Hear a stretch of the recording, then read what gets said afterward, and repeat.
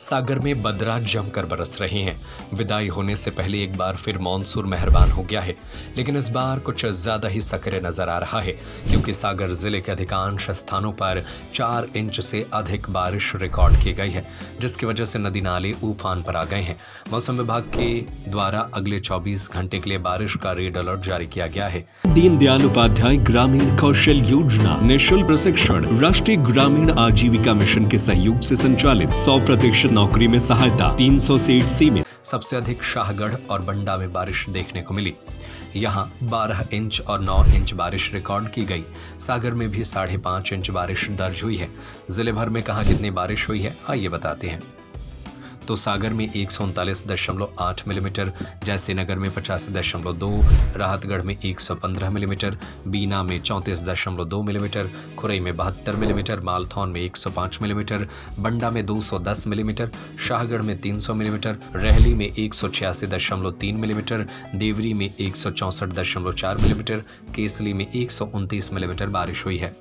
मौसम विशेषज्ञों के अनुसार उत्तरी छत्तीसगढ़ और स्लंगन ओडिशा पर स्थित त्रिवनिम्न दाब क्षेत्र बुधवार को सुबह पश्चिमोत्तर दिशा में 20 किलोमीटर प्रति घंटे की रफ्तार से बढ़ते हुए उत्तरी छत्तीसगढ़ में बिलासपुर से 70 किलोमीटर पूर्व, दक्षिण पूर्व रायपुर से 140 किलोमीटर उत्तर पूर्व और मलाज खंड से 220 किलोमीटर पूर्व में स्थित है। इसके उत्तरी छत्तीसगढ़ में पश्चिमोत्तर दिशा की ओर से बढ़ने और दुर्बल होकर छत्तीसगढ़ एवं स्लंगन पूर्वी मध्य प्रदेश के ऊपर सुपष्ट निम्न दाब क्षेत्र में परिवर्तन होने की संभावना है। इसके प्रभाव से अगले 24 घंटे के दौरान ज़िले में बारिश या गरज चमक के साथ बौछारें पड़ने की संभावना है।